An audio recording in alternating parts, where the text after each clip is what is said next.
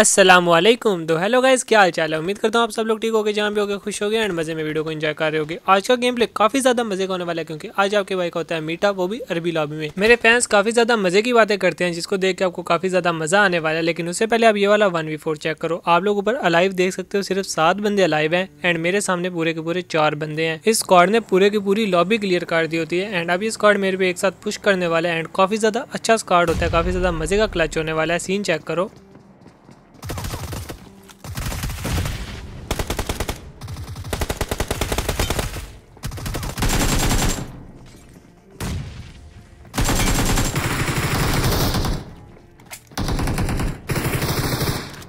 दो बंदे मैंने नॉक कर दिए हैं मतलब पीछे दो ही बंदे बचे हैं तो यहाँ पे चलो यार जंप करा देते हैं, जो हुआ देखा जाएगा।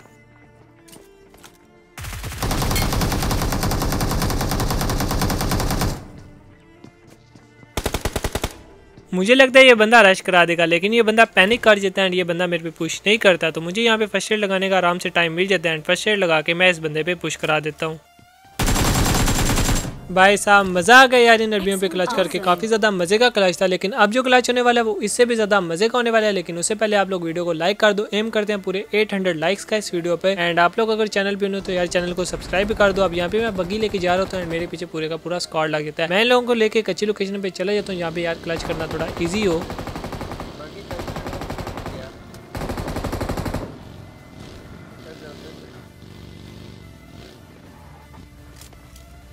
तो गाइज़ ये वाली लोकेशन काफ़ी ज़्यादा अच्छी होती है। इधर one v four one v three आराम से निकाला जा सकता है। मतलब आप इस लोकेशन पे क्लच निकाल सकते हो। अब ये बंदे मेरा पीछा करते करते यहाँ पे आ जाते हैं। तो मैं इन पे एक नेट कराता हूँ। मेरे दोनों नेट जाया जाते हैं। कोई भी बंदा नॉक नहीं होता। एंड अब ये लोग मेरे पे एक साथ पुश करने वाले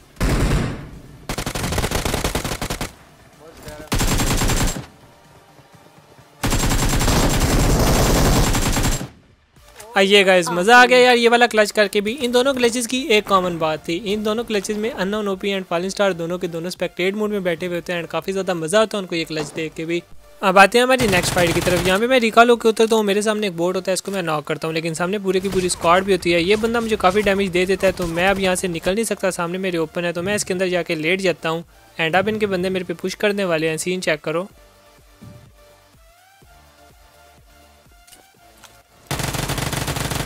जैसे ही मैं इनका एक बंदा नॉक करता हूँ लेफ़्ट से एक बंदा ओपन में जंप करते हुए आ जाता है एंड यहाँ पे मेरा मीठा वाला सीन होने वाला है। इन लोगों के नाम आपने याद रखने हैं, इस कार्ड को कर भी स्क्वाड मार देगा एंड देन हम इन लोगों का रिवेंज भी लेंगे। लेकिन उससे पहले आप लोग मीठा वाला सीन इन्जॉय करो। यहाँ पे जो लोग मुझे टिकटॉक पे फॉलो करते हैं टिकटॉक पे मेरी वीडियोस देखते हैं, उन लोग को काफ़ी ज़्यादा हँसी आने वाली है। क्रूजर भाई हेलो हेलो क्रूजर अरे आप रियल वाले इधर मैं इस बंदे को कहता हूँ कि यार आप अपने टीममेट को रिवाइव दो एंड देन आप लोग आज जो हम लोग आराम से बैठ के मीटअप कर लेते हैं एंड आप सीन चेक करना। हेलो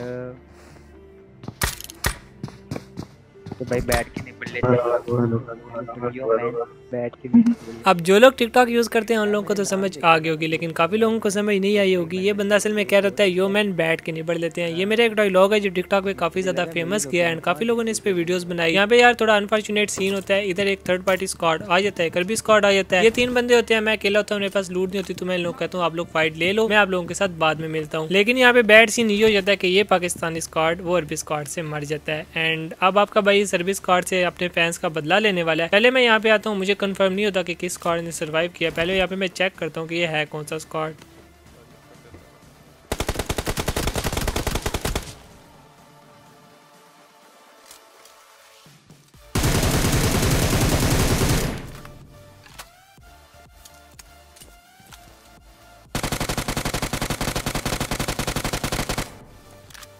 ओके तो गाइज़ यहाँ पे मुझे कंफर्म हो जाता है कि इस सर्विस स्क्वाड ने उन पाकिस्तानियों को मार दिया है। तो अब मैं यार दूसरी थी स्टोरी में आ जाता हूँ। ये वाली थी स्टोरी में हर तरफ़ से नहीं बढ़ती, सिर्फ़ सामने से फाइट होती है। एंड सामने मेरी बिल्डिंग में एक बंदा होता है लोगों मेरी लोकेशन का पता होता है। ये सामने आगे टीपी भी लेता है।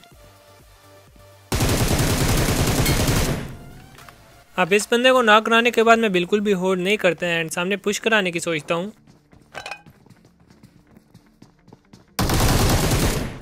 भाई साहब, क्या ही डैमेज दिया है सरबी ने? अब मैं यहाँ पे फ़र्स्ट एड लगाऊँगा एंड इनका लास्ट वाला बंदा सामने आके टीपी भी लेने लग जाता है।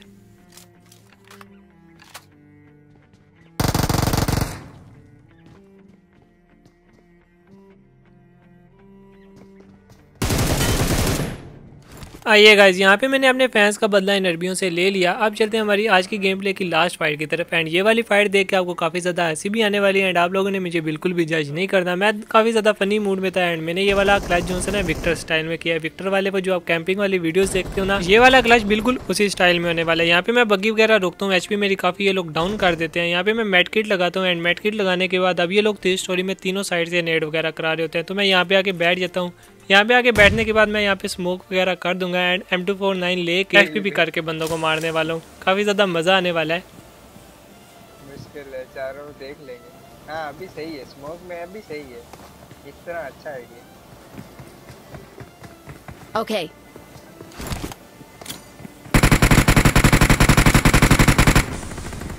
हाँ तेरे को ढूंढ ही नहीं पाएँगे।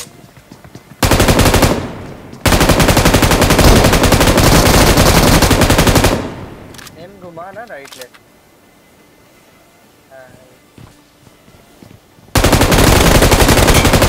आइए गाइस तीन बंदे इनके नॉक हो जाते हैं लास्ट वाला बंदा इनका रोड साइड से आ रहा होता है एंड ये वाला क्लच आपने ऐसा क्लच मेरे चैनल पे पहली दफ़ा ही देखा होगा, ऐसे क्लच में नहीं करता होता, लेकिन यार काफ़ी ज़्यादा दिल कर रहा था कि कैम करके बंदे मारूँ तो मैंने मार दिए। लास्ट वाला बंदा सामने से आता है तो इसको यहाँ पे मैं आराम से मार देता हूँ। यार, आराम से नहीं, बंदा मुझे वन एच कर देता है। तो गाइज़ आज की वीडियो में सिर्फ़ इतनी वीडियो आपको कैसी लगी मुझे कमेंट करके लाजमी बताना। मिलते हैं आपके साथ कोई नेक्स्ट वीडियो में। तब तक अपना बहुत ही ज़्यादा ख्याल रखना, दुआ में याद रखना। अल्लाह हाफिज़।